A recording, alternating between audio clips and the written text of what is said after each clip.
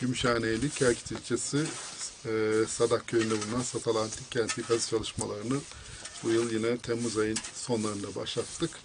Ve bu seneki çalışmalar özellikle de bu Roma İmparatorluğu'nun doğu sınırında bulunan dört büyük lejyondan birisi olan 15. Apollinaris Lejyonu'nun ana kampı durumunda olan Kastrum'da yani kale içi olarak adlandırabileceğimiz bölümde yürütmekteyiz.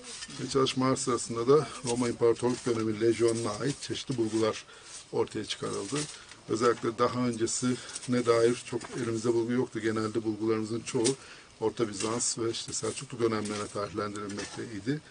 Bu seneki 2021 yılı çalışmaları sırasında ise özellikle Castrum 3 aşması olarak nitelendireceğimiz şu an içinde bulunduğumuz mekanda Roma İmparatorluk döneminin lejyonuna ait önemli bulgular ortaya. Ve ilk defa lejyonla ilgili somut bulgular elde etmeye başladık. Bu bakımdan da oldukça önemli. Lejyona tamamen odaklanmış durumdayız ve bununla bağlantı olarak lejyonla ilgili yapıları tespit etmek amacı taşıyoruz. Bizim ana odaklandığımız nokta Roma İmparatorluk dönemi lejyonu. 15. Apollinaris lejyonunun ana kampı. Daha öncesinde de 16. Flavifirma lejyonunun kurmuş olduğu kale yapısı. Biz bununla odaklanmış durumdayız.